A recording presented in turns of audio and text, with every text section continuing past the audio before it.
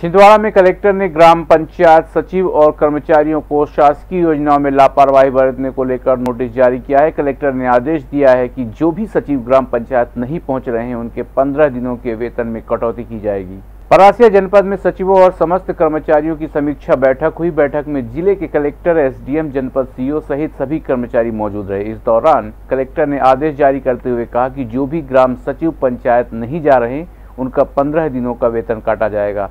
शासकीय योजनाओं में लापरवाही बरतने पर कर्मचारियों को भी नोटिस दिया गया है। इसके साथ ही मनरेगा और प्रधानमंत्री योजना के तहत रोज़गार को लेकर चर्चा की गई।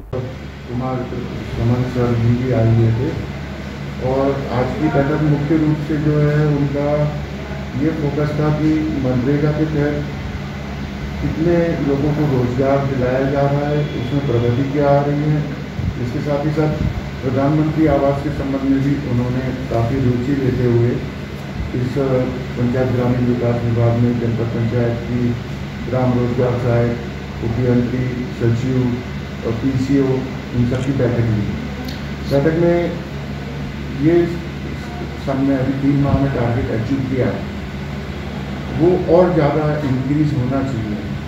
तो उसमें आप लोग जानते हैं कि कुछ ऐसी मेलोरियस पंचायतें होती हैं जो बराबर काम नहीं करती हैं तो जिनका टारगेट 10 परसेंट से कम अचीव हुआ था उनका चौदह दिवस का वेतन काटने का ग्राम रोज़गार सहायक एवं सचिव का और जिनका 20 परसेंट से टारगेट कम था उनका 60 परसेंट वेतन काटने का निर्णय लिया है और संगीत की स्वर लहरियों से सांस्कृतिक ताने बाने तक चंबल के पीड़ों से नक्सलवादियों के गढ़ तक।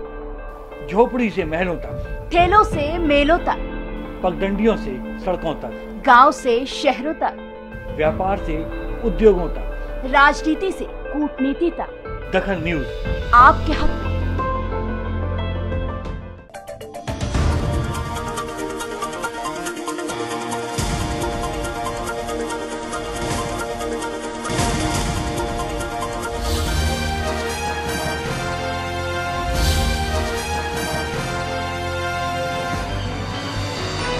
आप देख रहे हैं दखल न्यूज़।